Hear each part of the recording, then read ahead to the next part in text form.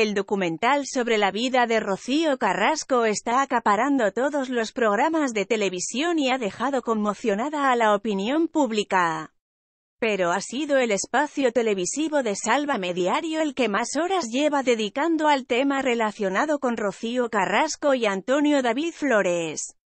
Desde que Sálvame confirmó la existencia del documental, han sido numerosos los personajes que se han posicionado en contra de Antonio David Flores, entre ellos Belén Esteban. La tertuliana ha sido una de las que ha cambiado radicalmente su opinión desde que los productores de la serie Rocío Carrasco, Contar la Verdad para seguir viva le dieran un ultimátum para ponerse a favor de Carrasco.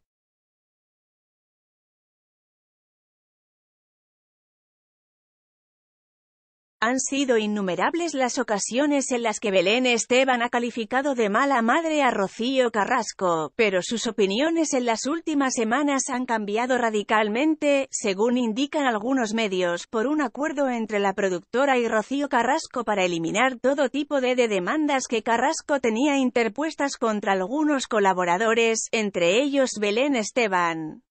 La de Paracuellos fue denunciada por Carrasco y la vista del juicio se celebró hace tan solo un mes. Ahora todas las demandas habrían sido retiradas y el cambio de opinión de Belén Esteban sería motivado por esto.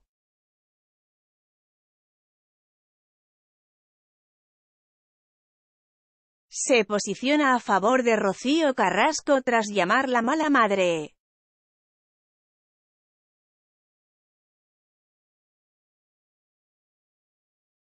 Así sacaba la cara Belén Esteban por Rocío Carrasco. Yo entiendo que es durísimo para Rocío Carrasco, y te juro que me pongo en su papel y hasta me emociono. Que tú tengas dos hijos y la situación esté así. No tengo derecho a decirle a Rocío ni a ninguna madre que es mala madre. No tengo derecho, y eso es lo que me reconcomé. Pero para mí han jugado sucio las dos partes. Y para mí Rocío es una desgraciada por la vida que ha tenido y sé también el sufrimiento que tendrá, pero madre no es la que pare, madre es la que cría y donde hay un cariño, para mí. Sin embargo, en los últimos días, Belén Esteban ha roto lanzas en favor de su hija, Rocío Flores e incluso de Olga Moreno, la esposa de Antonio David Flores.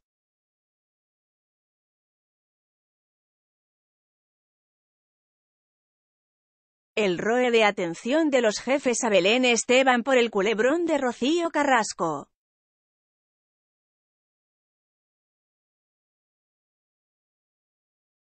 Esta es solo una de las declaraciones que Belén ha vertido en las que cuestiona el papel de Rocío Carrasco. Algo que los directivos de la fábrica de la tele, productores tanto de Sálvame le han hecho saber. Según ha podido confirmar Informalia, la Esteban ha recibido un toque de atención de sus jefes y le han recordado cuál debe ser su opinión puesto que forma parte del acuerdo que ella misma habría aceptado. De hecho, la situación de Sálvame con Antonio David Flores es cada día más alarmante.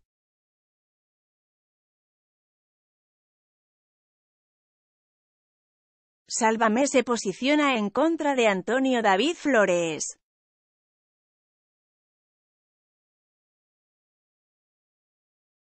El espacio televisivo está sacando todos los trapos sucios del ex guardia civil en las últimas semanas y prueba de ello es el episodio donde revelaban que Antonio David Flores había regalado a varios de sus compañeros una botella de champán por valor de más de 200 euros que a Belén Esteban no le llegó, pues ya la tenía de su parte y para ella no hubo regalo.